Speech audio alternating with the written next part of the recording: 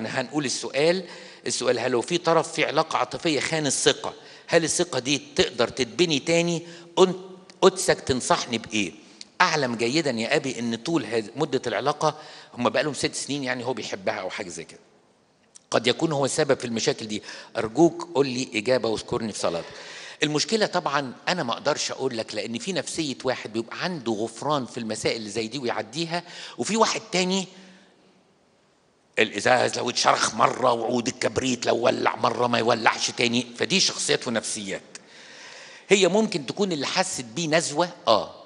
حست بيه نزوة عشان هي كانت مقتنعة بيك عقليا ومايلة ليك عاطفيا بس مش لدرجة إنك تكون مالي عينها 100% فهي في تردد. في الوقت ده شافت another offer واحد اتقدم لها وقال لها أنا معجب بيكي حاولت دوت يعني ده اللي طبقا للي أنت كاتبه مالت شوية وفتحت معاه حوار. وبعد كده أنت بتقول إن هي قالت له لأ مش هقدر أكمل معاك إحنا مش أكتر من أخوات.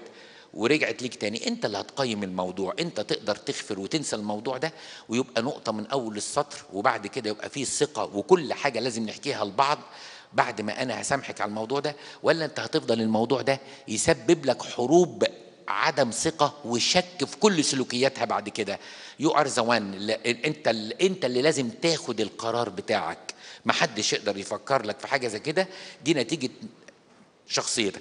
بس اللي أنا قريته من جوابك أنت عندك الاستعداد إنك تسامح وعندك الاستعداد إنك أنت تبتدي بداية جديدة بدليل إنك أنت بتوصف إنها إنسانة طيبة من جوه قوي وأنا كنت جنبها طول السنين اللي فاتت. فأنت شكلك عاوز بس واحد يزقك ويقول لك سامح. يعني إحساسي النفسي من سؤالك واحد يقول لك بس سامح تقول أبونا قال. بس أنا عايز أقول لك حاجة. أنت اللي لازم تاخد القرار لأنك أنت عارف شخصيتك.